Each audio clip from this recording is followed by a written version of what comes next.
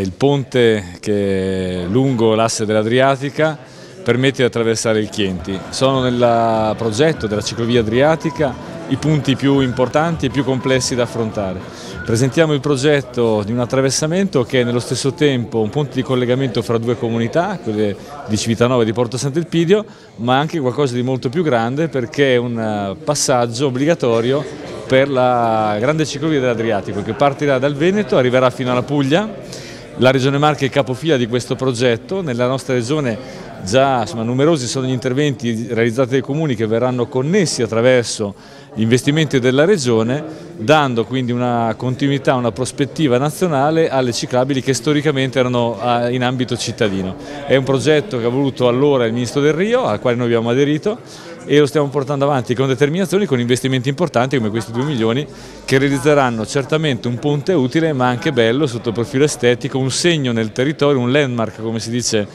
in gergo architettonico di grande valore che eh, segnalerà a tutti quanti proprio il legame fra le marche, la bicicletta e i collegamenti. Lungo la Valle del Chienti poi proseguirà una ciclovia a pettine secondo lo schema delle ciclovie delle Marche perché noi vogliamo che questo sistema sia goduto dall'intero territorio, dalla parte interna così come quella costiera, in modo che la bicicletta possa essere un mezzo che unisce tutta la regione e permetterà a tutti quanti di utilizzarne sia eh, in termini quotidiani per gli spostamenti ma ancora in modo più strategico per il turismo.